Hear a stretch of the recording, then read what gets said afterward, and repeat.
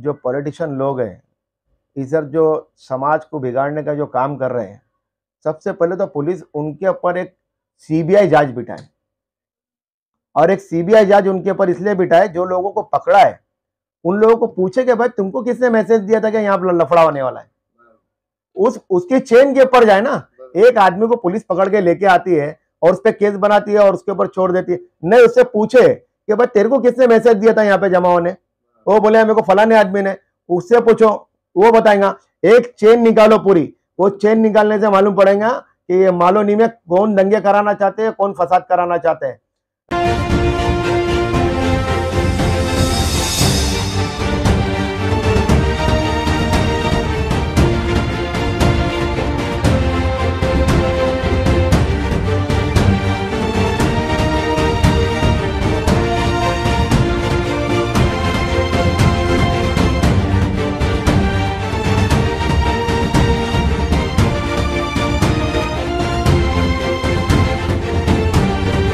दोस्तों आप देख रहे हो जेके नेशनल न्यूज़, मैं आपका साथी, आपका दोस्त, जेपी यादव। और हम आपको बता दें कि आज हम ऐसे शख्स के पास हैं जिनको लोग दिल से, ज़ुबान से और हृदय से भी जानते हैं और नाम के भी मुस्ताद नहीं हैं, इब्राहिम शेख जी हैं और एक मालोनी मलाड के अंदर में अच्छी शख्सियत हैं। हम आपको दोस्तों बता दें कि तीस तारीख के दिन कुछ ऐसी घटनाएँ हुई थी दो गुटों के अंदर में जिसको लेकर काफ़ी यहाँ पर तनाव था और जिसको प्रशासन ने अपने तरीके से, सुचारू रूप से सब सही कर लिया है। और कुछ ऐसी बातें हैं जो समाज में लोगों के अंदर में एक डिप्रेशन पैदा कर रही थी कि नहीं, ऐसी बातें हैं, किसी ने कहा नहीं, एक तरफा हो रहा है, कोई कह रहा है कि गलत हो रहा है, कोई कह रहा है सही हो रहा है, होना भी चाहिए क्योंकि दो तरफ़, दो गुटों की बातें थी। इस बात को लेकर के हम आज इब्राहिम शेख जी के पास आए हुए हैं और हम आपसे जानने की कोशिश करते हैं कि पूरा मामला क्या है? और आपके हिसाब से जो समाज में बातें या मैसेज जाना चाहिए, वो क्या है? दोस्तों, हम आपको पूरी बातें और पूरा आज का मैसेज हम इब्राहिम शेख जी से मिलाने की कोशिश करते हैं और हम इनसे ही समझते हैं कि समाज के अंदर में किस तरीके से बर्ताव और व्यवहार या समाज के अंदर में किस तरीके से लोगों के अंदर में दिलों की अंदर ठंडक पहुँचना चाहिए। अभी हम आपको आप कैमरे पे दिखाने की कोशिश करते हैं। कि पुलिस जो है वो कार्रवाई तो कर ही रही है। पुलिस को जो नज़र आएगा चाहे वो किसी भी समाज का हो चाहे वो हिंदू समाज का हो या मुसलमान समाज का हो तो पुलिस को जो नज़र आएगा पुलिस उस पर कार्रवाई कर रही है। और उसके अलावा भी आने वाले वक्त में छः तारीख को हनुमान जयंती भी हम्म। तो कोई लोगों का कहना है कि पुलिस उसे परमिशन ना दे हनुमान जयंती रैली निकालने के लिए? हम्म। मालूनी का फिर से शायद वातावरण बिगड़ सकता है। और लोग कह रहे ये प्री प्लान था, पहले से ये दंगे कराने का। नहीं, ये दंगे कराने का कोई प्री प्लान नहीं था किसी का भी और किसी भी मज़हब का, किसी भी धर्म के लोग दंगे करना नहीं चाहते ये तो ऐसा होता है कि जब वो भीड़ होती है, उसमें कुछ जो बच्चे मस्तीखोर होते हैं ना, वो मस्तीखोर बच्चे है ना, कुछ गड़बड़ कर देते हैं। उसके वजह से माहौल ख़राब होता है। वो मस्तीखोर बच्चे मस्ती करके निकल जाते हैं और वो मस्ती करके चले जाने के बाद में कुछ जो समझदार लोग होते हैं, उनको लगता है कि नहीं, यहाँ पे प्रॉब्लम क्रिएट हुई है, इसीलिए यहाँ पे प्रॉब्लम क्रिएट होती है, लेकिन फिर पुलिस इस पर काबू कर लेती है और पुलिस इसको कंट्रोल कर लेती है। मगर कि इनको जो बाहर से लाया जा रहा है बार बार समाज के लोग कहते हैं कि बाहर से पब्लिक को लाया जा रहा है गैदरिंग बनाई जा रही है, जिस तरह यहाँ के मर्चेंट है, ज़मीन मर्चेंट उनको भी इल्ज़ाम लगाया कि गैदरिंग करके आपने वातावरण बिगाड़ा है। जब उनका सहयोग था शोभा यात्रा थी तो आपको गैदरिंग करके प्रोग्राम नहीं करना चाहिए तो लोगों को खड़ा नहीं करना चाहिए था। मगर कि उनकी सफ़ाई में ये कहना है कि मैंने गैदरिंग किया नहीं, मैंने तो पुलिस के साथ आयोजक करके प्रशासन का सपोर्ट किया और मुझे केस में इन्वॉल्व कर दिया गया। तो उसमें क्या कहना है नहीं, देखो, ऐसा है कि कोई भी समाज का आदमी, चाहे वो हिंदू समाज का हो या मुसलमान समाज का हो कोई गैदरिंग नहीं करता है। सब अपना अपना त्यौहार मनाने के लिए आते हैं। हिंदू भाई का त्यौहार रहेगा तो हिंदू भाई आने वाले मुसलमान भाई का त्यौहार रहेगा तो मुसलमान भाई भी आने वाले और यहाँ पे त्यौहार अगर देखने जाए तो मुसलमान का भी और हिंदू का भी है। त्यौहार दोनों का है। तो इसीलिए यहाँ पे जो वहाँ पे अभी मस्जिद है मस्जिद में ईशा की नमाज़ का वक्त है। तो ईशा की नमाज़ के वक्त वहाँ पे वहाँ पे लोग तराबी के लिए आते हैं। तो तराबी के लिए लोग वक्त वक्त वहाँ पे आते हैं तो वहाँ पे लोग जमा हो गए। और यहाँ पे जो है रामनवमी जो निकली थी उसकी रैली थी उसके पब्लिक थी। तो दोनों जन मिलके अपना अपना त्यौहार मना रहे थे। वहाँ पे गैदरिंग का कोई कंसर्ट उसके अंदर कोई कॉन्सेप्ट ही नहीं है गैदरिंग का दोनों दोनों पार्टी की तरफ़ से। हाँ। तो आप समाज को क्या मैसेज देना चाह रहे हो इसके बारे में? जैसा कि अभी हनुमान जयंती का प्रोग्राम आने वाला है छह तारीख को। तो आप किस तरह से लोग को सहयोग बरतते हैं और किस तरह से पुलिस अलर्ट रहे? समाज को तो मैं एक मैसेज देना चाहूँगा कि इस मालोनी के अंदर जो राजकारण जो हो रहा है मालोनी में राजकारण वाले जो। पॉलिटिशियन लोग हैं इधर जो समाज को बिगाड़ने का जो काम कर रहे हैं सबसे पहले तो पुलिस उनके ऊपर एक सीबीआई जाँच बिठाए। और एक सीबीआई जाँच उनके ऊपर इसलिए बिठाए, जो लोगों को पकड़ा है। उन लोगों को पूछे कि भाई तुमको किसने मैसेज दिया था कि यहाँ लफड़ा होने वाला है? उस, उसकी चेन के ऊपर जाए ना, एक आदमी को पुलिस पकड़ के लेके आती है और उस पर केस बनाती है और उसके ऊपर छोड़ देती है। नहीं, उससे पूछे कि भाई तेरे को किसने मैसेज दिया था यहाँ पे जमा होने? वो बोले, मेरे को फलाने आदमी ने। उससे पूछो, वो बताएगा, एक चेन निकालो पूरी। वो चेन निकालने से मालूम पड़ेगा कि ये मालोनी में कौन दंगे कराना चाहते हैं कौन फसाद कराना चाहते हैं।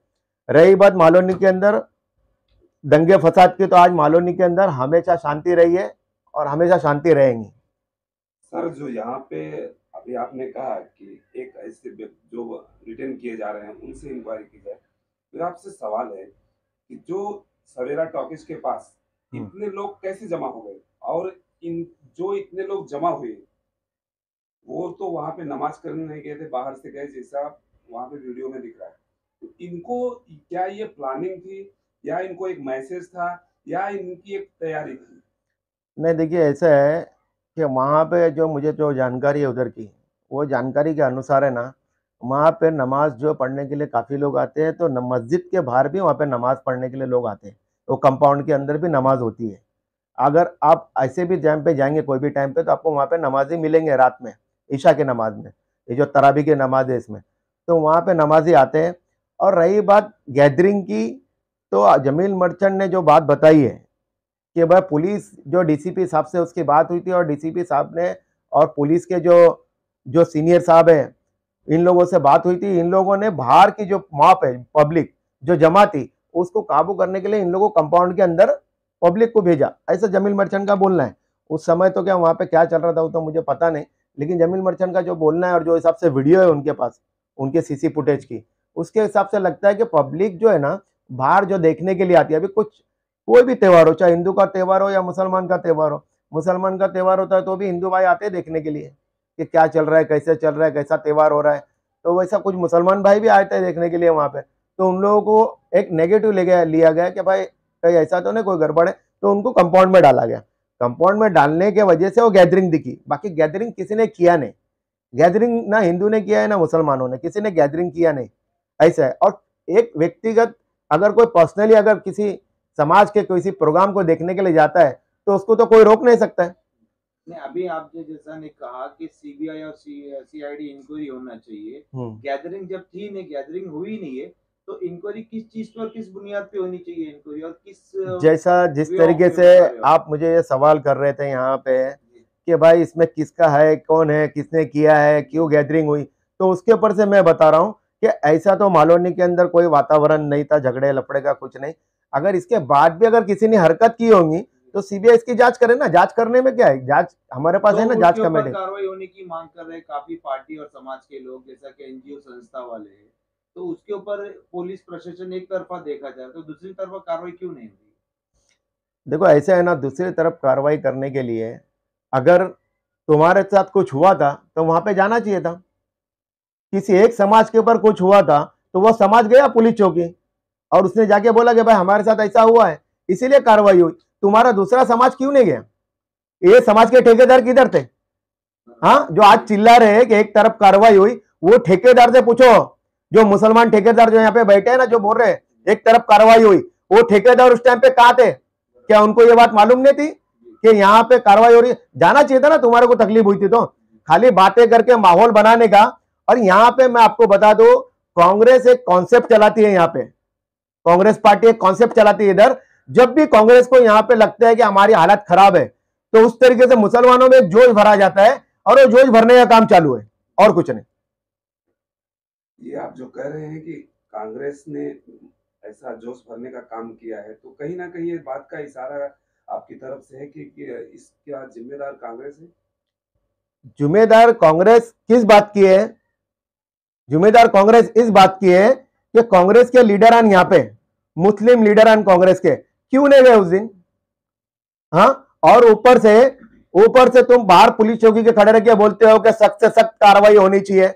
हाँ? सारे लोगों को सीसी फुटेज में देख के अरेस्ट किया जाना चाहिए। फिर दूसरी तरफ़ समाज के लोगों से मीटिंग करते हो। क्यों भाई ये सब? एक तरफ़ बात करो कुछ आओ कुछ बैठो। मैं इसके अंदर देखो, एक चीज़ बोलता हूँ। इसका एक सजेशन है। दोनों समाज के लोग बैठे, बैठ के बात करें।